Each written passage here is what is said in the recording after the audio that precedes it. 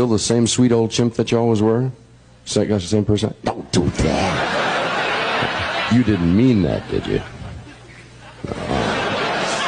I know you're very loyal to Michael, but do you, do you ever listen to anybody else's music? I mean, do you like heavy metal music? Can he, can he moonwalk? He does his version of I want to see this. If Michael Jackson's friend can moonwalk, I'll know where Michael learned all of that stuff. Oh. Let me see you do your stuff, Bubbles. Moonwalk. all right.